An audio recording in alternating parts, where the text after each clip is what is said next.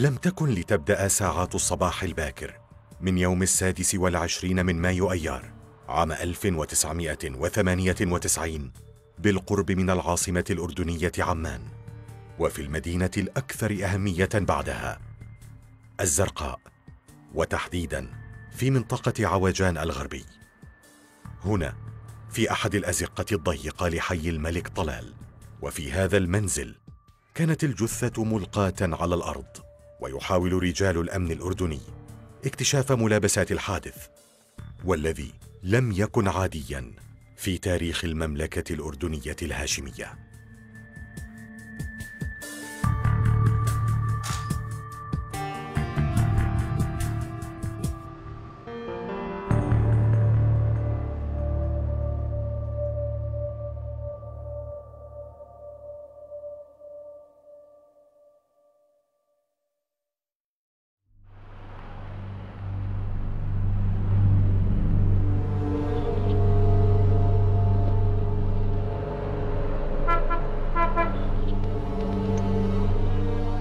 في السادس عشر من يونيو حزيران عام 1998 وصلت رسالة إلى مديرية الأمن العام في محافظة الزرقاء من شخص مجهول يفيد بأنه القاتل ويصف مسرح الجريمة بالتفصيل. وأن سبب الجريمة قيام المغدور بالاعتداء جنسيا على ابنه. كما وهدد المرسل بقتل بعض أفراد الشرطة على الفور تم أخذ البصمات منها ليتبين لدى الأجهزة الأمنية وجود بصمة غريبة على تلك الرسالة. هي كانت الرسالة موجهة لرئيس شعبة البحث الجنائي في الزرقاء. تم أخذ البصمات اللي موجودة على الرسالة من الداخل لأنه من الخارج موظفين البريد ونقلها وشو اسمه ولكن من الداخل واللعاب اللي موجود على الرسالة من الداخل شو اسمه استطاعوا المختبر الجنائي استطاعوا إنهم يتوصلوا للبصمة. البصمات معروف إنه عندنا إنه كل شخص له اسبقيه بكون له بصمات في إدارة المختبر الجنائي وإدارة المعلومات. تم مقارنة هذه البصمة مضاهاتها تبين إنها تعود إلى بلال.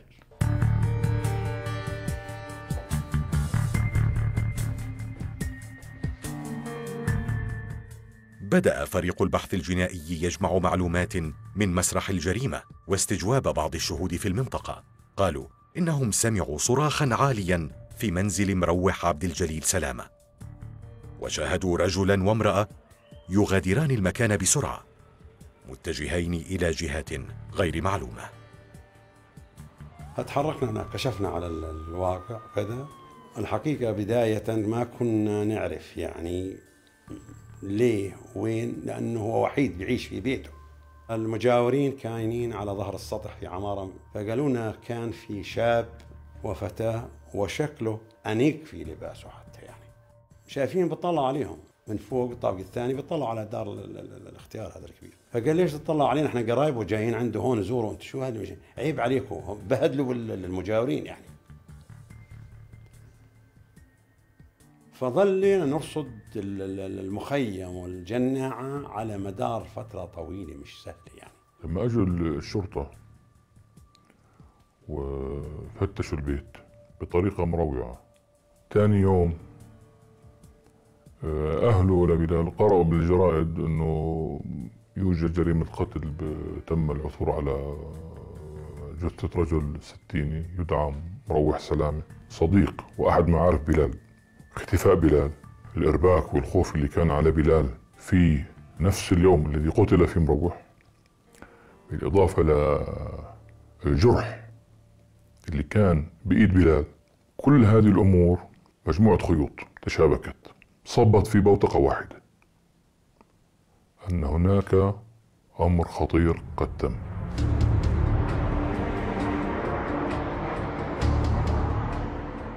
تفيد التحقيقات بأن المشتبه به بلال موسى قد غادر الأردن بتاريخ الحادي والعشرين من أيلول سبتمبر عام ثمانية وتسعين بصحبة زوجته متجهين إلى نويبع المصرية ومنها إلى الجماهيرية الليبية وذلك بعد ثلاثة أشهر من وصول تلك الرسالة الغريبة إلى الأجهزة الأمنية. اللي قادنا له اللي, اللي فادنا كثير صحيح إحنا بنبحث ونتحرى وراح نصل يعني لكن الرساله اللي هي بعثها ليش ليش أرسلها من المفرق؟ حتى يشتت. تحقيق لأنه الجاني مش موجود في الزرقاء لا دوره في الزرقاء. آه لا. لأنه عارف إنه إحنا قربنا نصل له فود الرسالة يعني على مسرح جريمة يعني عامله هو كامله الأجهزة الأمنية نتيجة التفتيش وجدوا رسالة آه، بين سوزان وزوجها بلال اللي صار زوجها فيما بعد هذه الرسالة بيطلب منها إنه آه، يطلعوا ويسافروا على مصر ومن مصر على ليبيا. فالأجهزة الأمنية اعتقدت إنه هذه الرسالة أو هذا العلاقة اللي كانت تربط بلال وسوزان علاقتهم زوجيه إنه هي الأساس لما هو موجود عندهم الأجهزة الأمنية. كيف؟ إنه هذه الرسالة كشفت حسب ما تقول الأجهزة الأمنية إنه آه، قضية مقتل مروح كان في اتفاق بين بلال وسوزان عليها.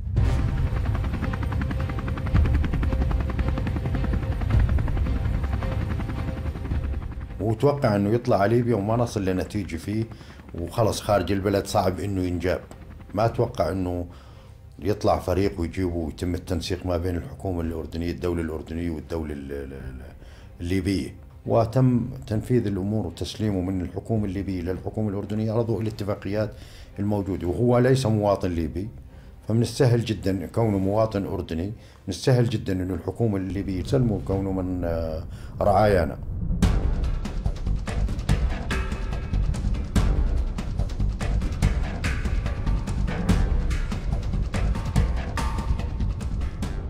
التحقيقات بدأت مع بلال وسوزان حول مقتل مروح سلامة.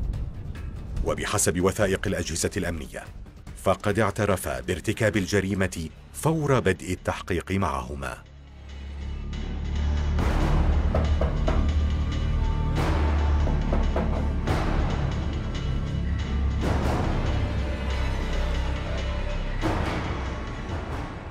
في يوم الجريمة دخل إلى منزل مروح.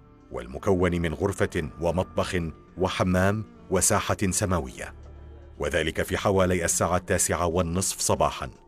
وكان بحوزة بلال سكين يخفيها تحت معطفه لتنفيذ ما صمم وخطط له. وأخبر بذلك سوزان قبل وصولهما إلى منزل الضحية.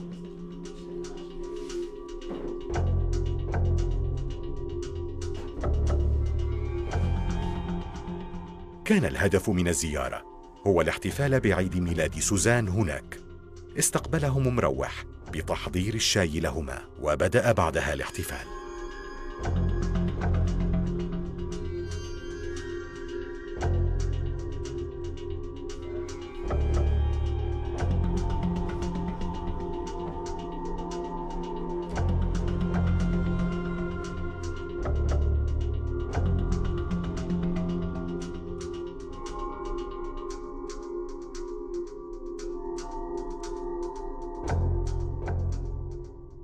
بعد تناول الكعكة. توجهت سوزان إلى الحمام في الخارج فيما ذهب بلال إلى المطبخ لغسل يديه.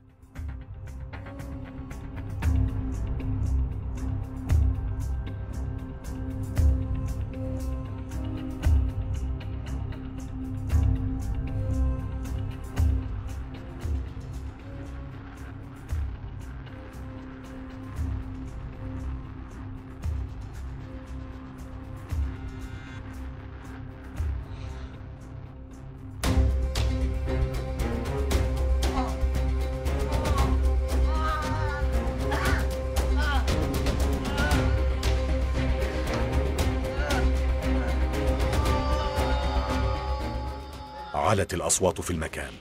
وجاءت سوزان وحاولت مساعدة بلال بإغلاق الشباك وتنظيف المكان وتغيير ملابسه. فوضع ملابسه المخضبة بالدماء في كيس وسارع بلال بعدها بغسل يديه وسرق بلال مبلغ واحد وثلاثين دينارا ثم لاذ بالفرار.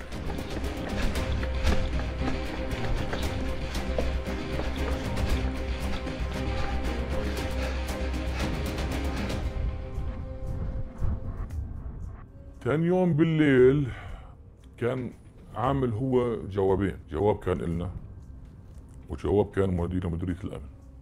الجواب اللي إلنا يعني أبي العزيز أمي العزيزة كذا أنا صحت لي فرصة عمل بليبيا وأنا مسافر ما جاب سيرة ما تحدث عن اللي صار بموضوع مروح.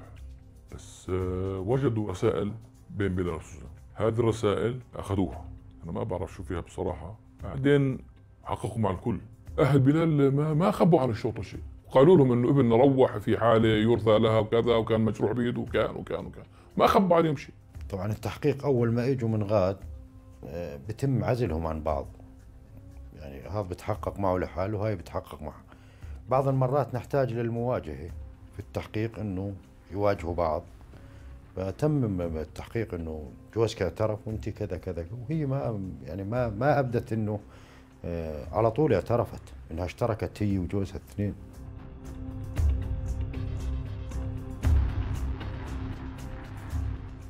كيف اعترفوا طبعا واختيارهم؟ بالقانون إذا بتحجز شخص لأكثر من 24 ساعة من تاريخ أخذ الإفادة تعتبر كل أقواله باطلة. أنت لما تخليه عندك شهر وشهرين يعني بتاريخ آه، استلامه آه، استلام بلال سوزان من ليبيا وأحضاره الأردن وأحيله إلى المدعي العام وأحيله إلى المحكمة كانت فترة آه، أسابيع وأشهر. كانت الرسالة الأساس في حل اللغز حقيقة. وديناها لإدارة المختبرات الجنائية. بلغنا بعد ثلاث أيام انه وجد عليها بصمة. لما سكر على الرسالة بالمغلف بصمته جاية بين اللاصق والكذا فطلعت لواحد اسمه بلال. وبلال هذا عليه قضايا قضية شروع بالقتل في الزرقاء. تم هذا الحكي على أساس قضية مروح فقط لا غير. وفوجئ بلال وسوزان إثناء إجراءات التحقيق معهم إنه سؤالهم عن صليحه مكودي عن العمايرة عن كذا واحد.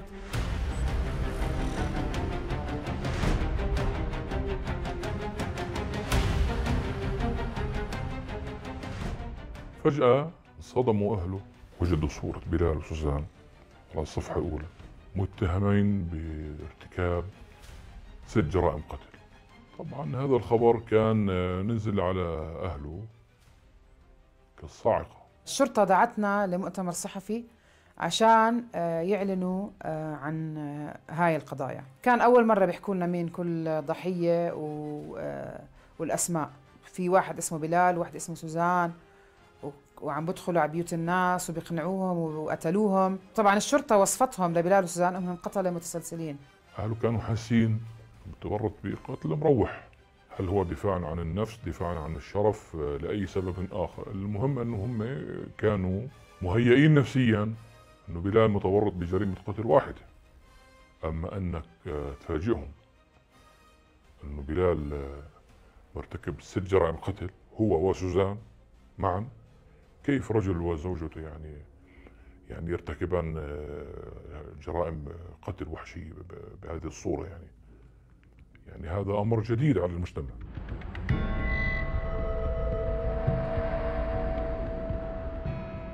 شكلت هذه الجرائم تحولا جذريا في المجتمع الأردني. ليس بسبب عدد الجرائم وحسب بل بالنظر أيضا لنوعية الضحايا والتي كانت غالبيتها إناثا. بالإضافة إلى رجل ستيني وطفل رضيع. بعد أن نظرت محكمة الجنايات الكبرى في الدعوة واستمعت إلى أدلتها وبياناتها استخلصت وقائع تلك الجرائم. الضحية سعاد فريد وعمرها أربعون عاماً. منطقة إسكان الروضة في ضاحية الرشيد. كانت مسرحاً لتلك الجريمة.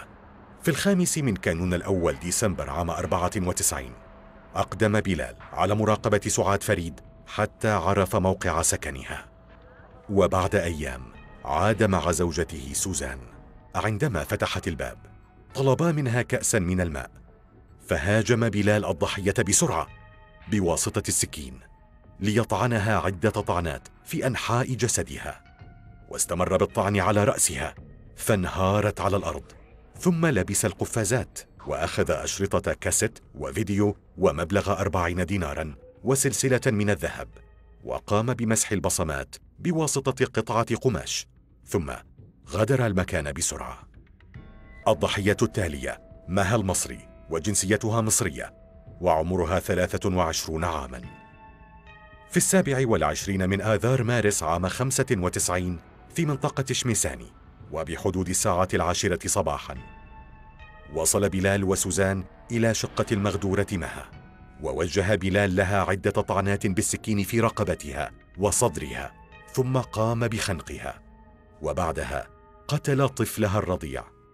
لبس القفازات وسرق مبلغ 180 دينارا وسلسلة من الذهب. الضحية ربيع أبو ركبة وعمره ستون عاما. في الرابع من آذار مارس عام 97 بوسط العاصمة عمان وفي حي الطلياني دخل بلال وسوزان إلى مخمرة الموز ووجد المغدور يقف في منطقة الحمام والموجودة داخلها وظهره باتجاههما ولم يشعر بدخولهما. فأخرج بلال السكين وقام بطعنه في ظهره حتى سقط على الأرض ثم طعنه في صدره حتى الموت وسرق منه مبلغ أربعة وعشرين ديناراً قبل أن يعود إلى عمله وكأن شيئا لم يكن. الضحية إيمان العمايرة وعمرها 32 عاما. في منطقة الهاشم الشمالي في السابع عشر من آذار مارس 98 دخل بلال وسوزان بيت الضحية وعرفا عن نفسيهما بأنهما يعملان في مؤسسة للإجازات وقامت إيمان بتعبئة استبيان للدخول إلى مسابقة من أجل الفوز. وما أن انتهت حتى انقض بلال عليها وقام بقتلها بالطعن حتى الموت. الضحية التالية هي صليحة مكودي وعمرها 43 عاما وجنسيتها جزائرية وتسكن في منطقة قريبة من الجامعة الأردنية في إسكان الجامعة بيجوز. في الرابع من أيار مايو 98 وبنفس الطريقة قتلها بلال بالطعن المستمر ثماني عشرة مرة حتى الموت وسرق مبلغ 330 ديناراً. بعد تقريبا بشهر رجعوا عملوا كمان مؤتمر صحفي الشرطة وحكوا إنه كمان مسؤولين عن كمان خمس جرائم. فأنا بالنسبة إلي شوي حسيت إنه شوي غريب آه، الموضوع شوي تقيل يعني إنه 11 جريمة 12 ضحية. المجرم هو مريض نفسي عنده نقص نفسي. فهذول عندهم يعني تركيبة فسيولوجية في أجسامهم في عقولهم. في ناس بحب منظر الدم. في ناس بعض مرات بقتل ليس لهدف. بس المهم يقتل في ناس انتقاما لما في ذاكرته. هذا الشخص مهووس في القتل يعني ما بيفرق معه شيء أصبحت عنده ك كحالة من التكرار يعني والتعود إنه يشتغل هيك.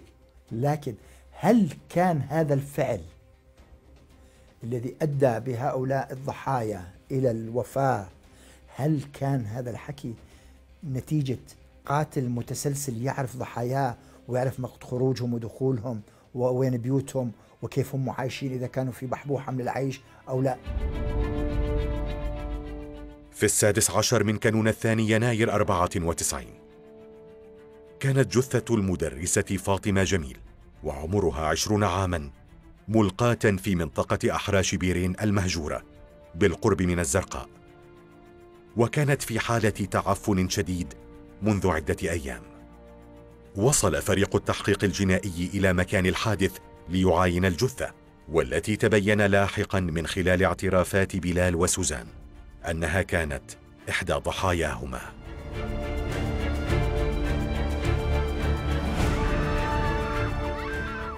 جريمة القتل حدثت في السيارة بعد أن ركبت الضحية معهما ليوصلها إلى البيت.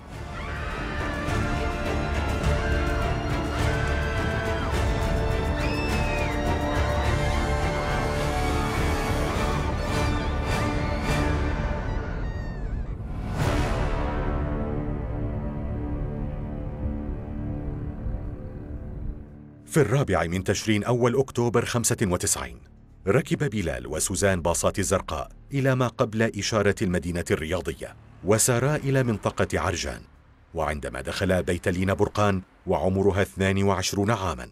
شعرت الضحية أنها في خطر شديد فأحضرت المسدس من غرفة نومها. تسلل بلال وهاجمها من الخلف واشتبكا قبل أن ينقض عليها فقتلها على الفور. وسرق منها سلسالا من الذهب.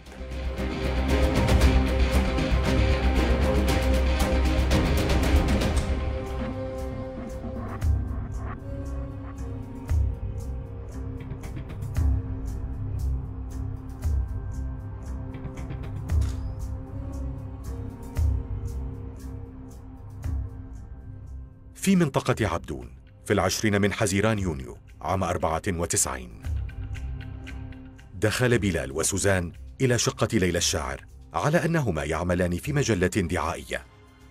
واستمر الحديث بين ليلى وسوزان لتحاول إقناعها بشراء بعض المجلات.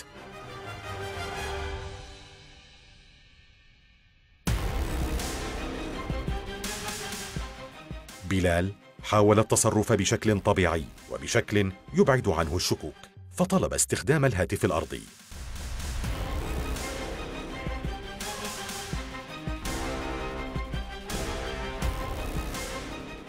انتظر بلال اللحظة المناسبة ليباغت ليلى بسلك الهاتف. قاومت وبشدة.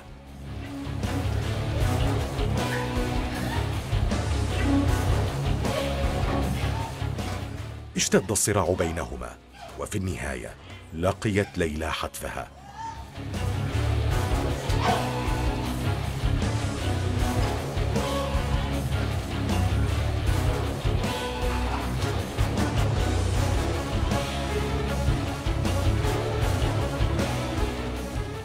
سرق بلال وسوزان من شقتها خاتمين وسلاسل وأساور.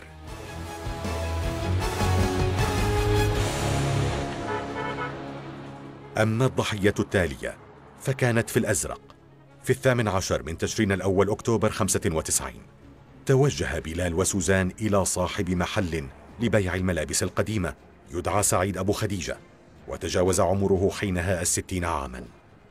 كان جارا لهما في السابق ويتردد إلى منزل سوزان ويعطي والدتها النقود قبل أن يغادر المكان إلى الأزرق ليعيش هناك. ومن شدة غيرة بلال عقد العزم على قتله وعند وصولهما إلى هناك باغت المغدور بعدة طعنات بالسكين في بطنه ثم لف قماشا حول عنقه وخنقه حتى فارق الحياة.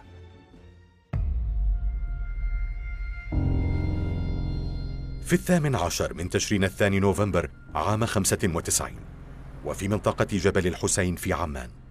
وبحسب اعترافات بلال وسوزان فقد وصل إلى مكتب رجل الأعمال ناجح الخياط ابن الستين عاما بنية سرقة ما عنده من نقود وقتله.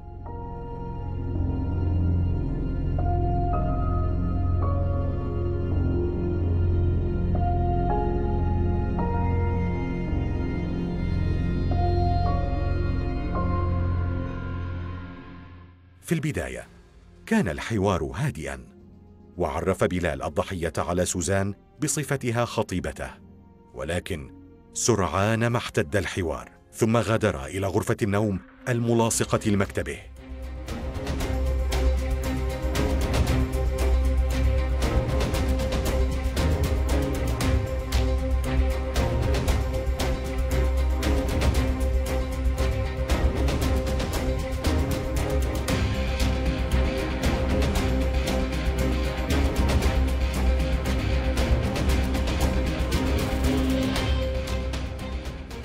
وفي لمح البصر انقض بلال على ناجح وألقاه على الأرض ثم طعنه بالسكين.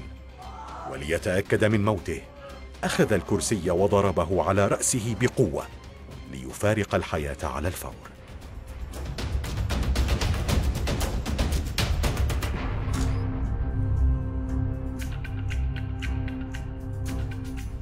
شوي لقيت إنه غريب يعني إنه الأسلوب القتل مش نفسه يعني دائما القتل المتسلسلين بيستعملوا نفس الأسلوب. مثلا إذا كانوا بيستخدموا مسدس بكون خلص كل جرائمهم مسدس. يعني حسيت إنه غريب يعني إنه مرة ب... مرة بطخوا مرة آه، بطعنوا مرة باداء راضه فيعني كانت في تنوع بأسلوب الجرائم وحتى بالضحايا يعني. جرائم القتل إذا تنوعت دائما بيكون الهدف فيها مادي ليس الهدف فيها مثلا أخذ بالثأر أو قضية عرض. أو قضية آه، مشاجرة أو خلاف مادي أو شراكة اختلفوا عليها هذول سهل يعني ما بطول لما ينكشفن. هو بحاول يستخدم أكثر من أسلوب عشان يخفي معالم جريمته أو أسلوب ارتكابه لجريمته. القضية أخذت رأي عام محلي بشكل كبير جدا وصار في تأثير. من الشارع. صار كل واحد في هو قاعد يقول ممكن هاي إجت دقت على باب بيت وأنا ما بعرفها. فصار في احتقان بالشارع بالمناسبة. الاحتقان هذا سببه الإعلام اللي كان لم يكن حياديا بطرح القضية. أنا بالنسبة لي كصحفية كنت أحضر الجلسات كلها يعني لقضية بلا- بلال وسوزان. كانت محكمة الجنايات زمان بقصر العدل بال بالطابق السفلي. وكان آه، يعني الغرفة بس تدخل عليها في قفص هون على الشمال وقفص على اليمين والمحكمة بالنص وإحنا قاعدين هون. فكان بلال هون وا- واقف وسوزان آه، باله. ما كانوش خايفين ما حسيتهم كانوا خايفين. ما كان في ما كان في رعب. لما كانوا يروحوا على المحكمة كنت أحسهم هم لما يطلعوا على بعض يقووا بعض. بلال وسوزان ارتكبوا 11 جريمة قتل وفي 11 موقع يعني مختلفات مش في حي واحد أو في منطقة واحدة وبأوقات متفاوتة. بسنوات مرت على الج- الجرائم. بدهم يتهربوا. بدل ما يعقب ال 11 إعدام بقول لك لا ابو كل إعدام. عقوبة إعدام واحدة بجوز أطلع منها مؤبد. أنا بعطيها وفق أحكام المادة 98 المادة 98 بتقول لك يستفيد فاعل الجريمة التي أقدم عليها تحت تأثير ثورة الغضب. بشرط أن يكون مثارا. كان على درجة كبيرة من الخطورة بحيث أنه المتهم أو الجاني أفقدوا هذا الحكي تركيزه وقدرته على التمييز ما بين الصح والخطأ. أثناء الحديث عن ظروف التحقيق طبعا تناولنا كل ما يتعلق بال- بالجريمة أو ب- بظروفه الشخصية وعلاقته بسوزان علاقته بالقضايا. وهو ذكر لي هو ارتكب جريمة واحدة. واللي آه، لما أنا آه، حصلت على صورة من الملف من الأستاذ زياد النجداوي كمان كنت أحضر جلسات المحكمة. هاي القضية هو ارتكبها وفق الرواية. آه، تحت ثورة غضب شديد آه، لأنه الشخص آه، الضحية أو المجني عليه آه، كان بيحاول الاعتداء على سوزان وسوزان في ذلك الوقت كانت زوجته لبلال. هذا الأمر أدى إلى ثورة غضب أو على الأقل قتل عادي وليس قتل عمد بمعنى أنه مخطط آه، لهذا القتل. قضايا مثل هيك اللي يستفيد فيها الفاعل من العذر المخفف نتيجة ثورة الغضب أو بين قوسين ما يسمى جرائم الشرف. كان بلال في هذه القضية واقع تحت تأثير هذا آه، الصورة. بالتالي ما كان في إعدام المفروض عليه. المحكمة أنا حسيت إنه من اللي شفته والقرارات واللي غطيته ما حسيت إنه كان في أدلة آه، غير اعترافاتهم. كمحققين بجمع معلومات واستقصاء معلومات وجمع المعلومات آه، بهمنا الدلائل. ولكن من خلال معطيات التحقيق ومن خلال اعترافاته ومن خلال تمثيله للجثة إذا توصلت المحكمة للقناعة الوجدانية أنه هذا مرتكب القضية فالمحكمة بتقوم بحكمه على على ذلك. بعض القضايا كان فيها بصمات لابد المجرم ما يترك أثر. يعني إنسان مقبل على الإعدام. وبقول لك أنا ما بعرفش هذا كل هالناس هذولا. أنا قتلت مروح فقط لا غير. وبعترف بهذا الحكي. وهو مقبل على الإعدام. أنا شفته قبل أسبوع ما ينفذوا فيه بالمناسبة. وتناقشت أنا وياه. قال لي والله لا بعرف صليحة ولا بعرف إيمان عمايري ولا بعرف لينا برقان ولا الشاعر ولا فلان ولا. قال ما بعرف. كنت موجودة لما حكموا بلال وسوزان. ما بتذكر إنه عملوا أي ردة فعل. ما صح لنا إنه نتعرف على أهل بلال وسوزان. فممكن كانوا يكونوا بالمحكمة بس أنا إحنا ما نعرفهم. بس عادة عادة يعني من من آه، خبرتي بالمحاكم مش كتير كان يجي ناس على المحاكم أصلا يحضر مع إنها المحاكم علنية طبعا. ولكن ممنوع الاحتكاك وممنوع إنه حدا يحكي مع حدا. احتراما طبعا للقاضي واحتراما للجلسة واحتراما للمحكمة. وهم كانوا يجيبوهم على طول يعني بس تبدأ الجلسة كانوا يجيبوهم ما كانوا يجيبوهم قبل. في كل التهم تم تجريمه تمت إدانته حكم عليه بالإعدام على كل قضية حكم بإعدام إعدام إعدام إعدام وحكم على زوجته حكم واحد بالإعدام. لاحقا طبعا آه، التمييز نقضت هذا الحكم وعدلت على سوزان. القتل عمد بالاشتراك إلى آه، تهمة التدخل بالقتل ودمجت جميع أحكامها وأخذت حكم موحد آه، اللي هو المؤبد. أما بلال نفذ في حكم الإعدام حتى أنه نفذ الحكم يعني وكان لسه في عليه قضية أو قضية لم يصدر فيهم القرار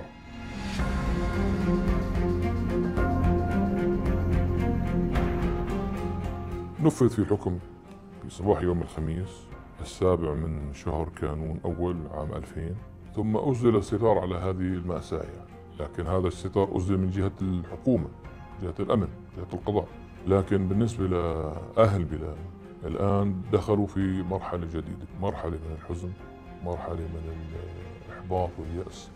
خذلان أمه رحمه الله تعالى دخلت في حالة يعني في حالة عميقة من الحزن واستمرت يعني حزينة عليه عشر سنوات متتالية إلى أن فارقت الحياة.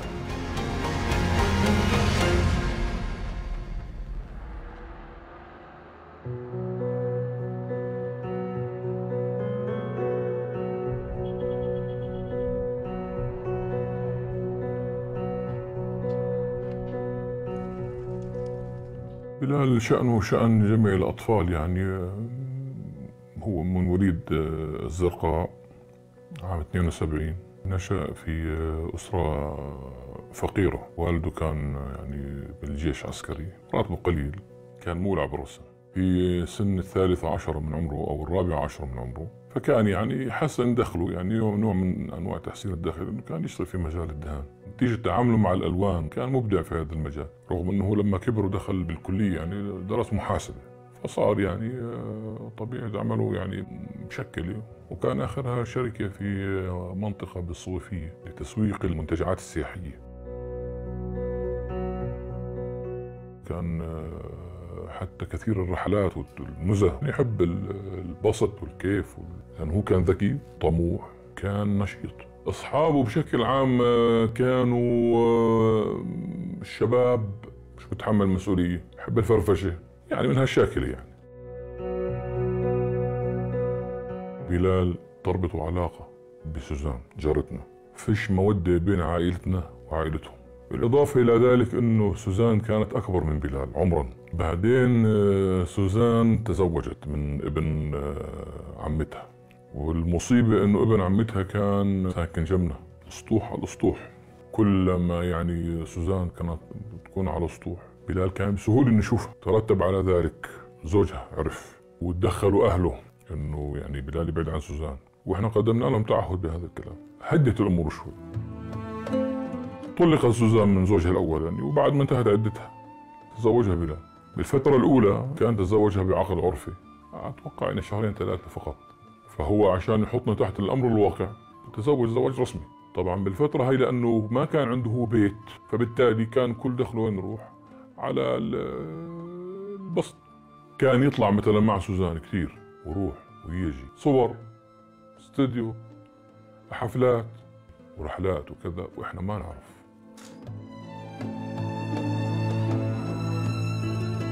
معروف يعني على مستوى الحي انه بلال وسوزان على علاقة عاطفية. يعني هي بدها بلال وبلال آه، حاول يقنعنا من الأول يعني بس إحنا كنا رافضين طبعا. لحد ما جاء اليوم المشؤوم كان يوم عيد ميلاد سوزان وكان الاتفاق بيناتهم أنهم يحتفلوا فيه عند آه، في بيت مروح سلامه على علاقة صداقة ببلال. يعني كما قال بلال بالتحقيقات يعني إحنا ما كناش مطلعين يعني. إنه إنه هو تذكر شغلة بده يجيبها من البقالة. طلع ورجع تفاجأ بإنه صديقه يعني بتحرش بزوجته فهجم عليه وقتله. فتحولت الحفلة هذه إلى كارثة. طبعا آه، زوجته طبعا صار آه، معها انهيار عصبي لما عرفت. ظلت في حالة من آه، الحزن الشديد. انتهت بها بوفاتها جلطة قاتلة على القلب. توفيت رحمه الله.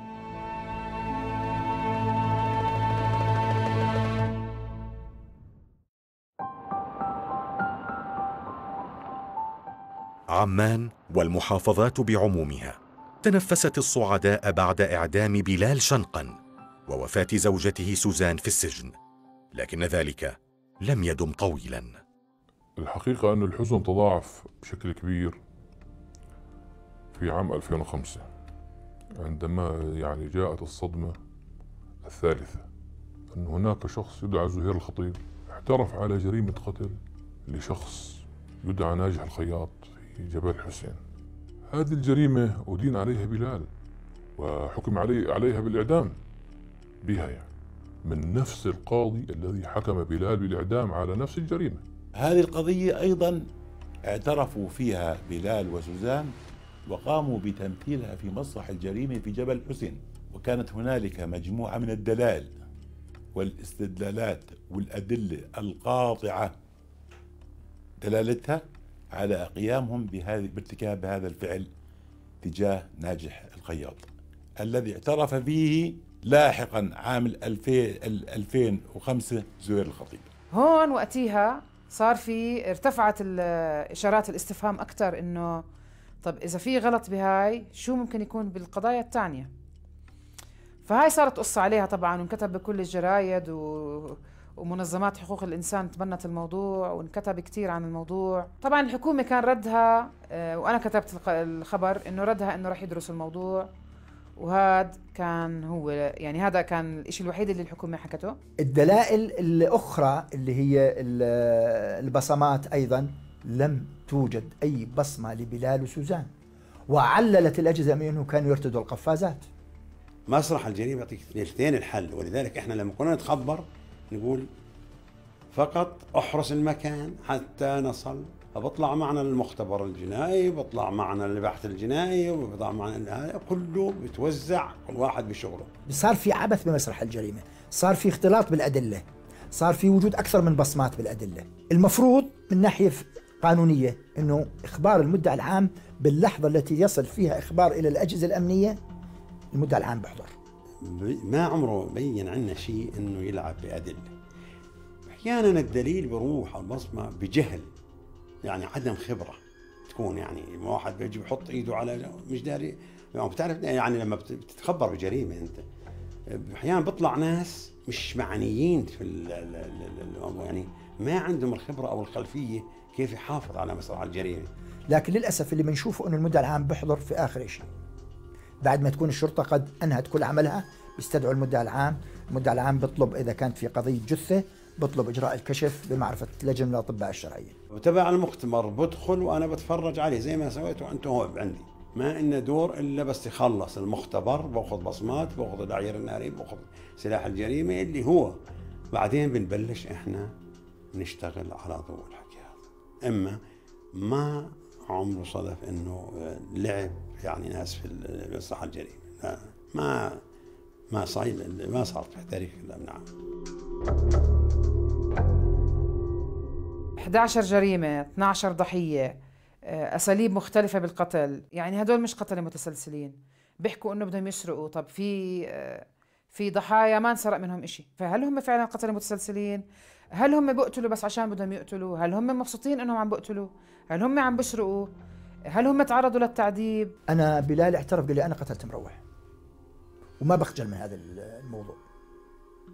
لكن عملية إحضارهم من ليبيا وخضوعهم للتعذيب والضرب والشبح وعدم النوم والتهديدهم بأهلهم أدى ببلال وسوزان أنه يعترفوا بالجرائم. لو اعترف نتيجة الضرب بطلع براءة إذا مو مرتكب القضية. لأنه أول ما يروح عند المحكمة يقول أنا تعرضت للضرب و المعلومات اللي بيعطيها بتكون غير دقيقة. ولكن آه، القناعة الوجدانية والأدلة والبراهين اللي كانت موجودة في القضية آه، والقرائن اللي موجودة في القضية هي اللي وصلته لحبل المشنقة. طبعا إحنا في الأحكام الجزائية دائما في قاعدة في الأردن أنه الشك يفسر لمصلحة المتهم. وبالتالي إنه مجرد وجود شخص اخ شخص هذا بيقول يعني بيعطينا مؤشر إنه قد تكون كل الجرائم اللي اعترفوا بارتكابها سوزان وبلال هم لم يرتكبوها ولكن تم يعني إجبارهم على الاعتراف بارتكاب هذه الجرائم من خلال آه، تعذيبهم. سوزان كانت حامل بلحظة تسليمها وإحضارها إلى الأردن كانت حامل تم إجهاضها من كثر التعذيب. هذه جريمة على فكرة لكن لم يتم فيها وجود دليل على أنه تم هي إجهاضها من قبل الشرطة أو من قبل بسبب التعذيب. هاي كانت أسلوب قديم يستخدمون المحامين مع احترامي لاخواننا المحامين آه، في كل مواقعهم. يقولوا للمجرم آه، قول إنهم ضربوني. فإحنا كنا آه، أي مجرم قبل ما نحوله للمدعي العام أو للمحكمة نطلب من المدعي العام عرضه على الطبيب الشرعي. نجيب له تقرير طبي شرعي إنه لم يتعرض للضرب ولا يوجد عليه اي آثار. هو بالنسبة لباقي التهم حكى لي إنه ما ارتكب الجرائم الأخرى. وإنه آه، لما طلب منه تمثيل الجريمة آه، كانوا آه، كان يعطى تفاصيل الجرم إنه كيف كان ارتكاب الجريمة وهو بالفعل طلب منه إنه يقوم بتمثيل الجريمة. وأنا سألته يعني باستغراب إنه كيف أنت بتمثل جريمة؟ أنت ما قمت بارتكابها. حسب ذاكرتي إنه كان هو في حالة ارتباك. عند آه، طلب منه إنه تمثيل الجريمة. بعد ما تتم أخذ أقواله بيتم الانتقال لمسرح الجريمة اللي هو تمثيل كيفية ارتكاب الجريمة وبيتم تسجيل والتصوير لما لا تمثيل الجريمة. وتمثيل الجريمة يعتبر آه، دليل في القضية. بحسب تحقيقات الأجهزة الأمنية في كيفية مقتل ناجح الخياط واختلاف روايتي بلال وسوزان من جهة وزهير الخطيب من جهة ثانية. تبين للمحققين بأن رواية بلال وسوزان هي الأدق وبالأخص الجزئية المتعلقة بضرب بلال الضحية بكرسي للتأكد من مقتله.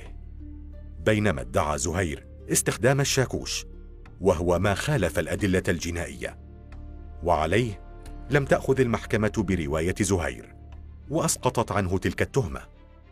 ولكن بقيت بحقه تهمتان وحكم بالإعدام. كشف الدلالة ما بعطيك الوضع الصح نفس الجاني. ما بعطيك إياه. عدة مرات بتطلع وكذا حتى يتوهك صارت يعني عدة مرات معنا. يعني يتعبنا كثير كثير لأنه كشف الدلالة هي تثبيت له في هذا الاعتراف اعتراف غير قانوني غير أصولي لم يكن في محله لم يكن في محل في محله من قبل زهير الخطيب. الدفعة الثانية كان فيها جرائم ارتكبت بتواريخ تسبق تواريخ جرائم الدفعة الأولى. منطقيا المفروض أنه يعترف عليها بالفوج الأول. ما في إنسان بيرتكب جرائم ينسى جريمته الأولى أبدا. الفترة الزمنية هذه أتوقع باعتقادي الشخصي أنها تعطي للأجهزة الأمنية مزيد من الحركة حتى تتوصل إلى الفاعلين الأصليين. لكن إلقاء القبض على بلال وسوزان حط الأجهزة الأمنية أمام باعتقادهم فجر حلو استطاعوا فيه أنهم يعملوا تمثيل للجرائم ويعملوا تطابق بين الإفادات إلى أن آه تم آه حشر سوزان وبلال بهذا الكم الهائل من القضايا. لأنه المطلوب كان هيك حتى أنا أنهي القضايا المعلقة من تاريخ فترة التسعينات من القرن الماضي. بدي أنهيها إما حقيقة أنه يتلبس قضايا 12 لا يمكن يقدم جهاز مثل جهاز الأمن العام الأردني على أنه يلبس واحد قضايا هذه. هذه أمانة. بعدين إحنا كيف بدك تطلع؟ ما بطلع قاعد معك ومع المدعي العام بيعمل كشف دلالة. معك المدعي كلها النيابة العامة كلها معه. كيف بده يلبس قضايا يجيبوا القضايا؟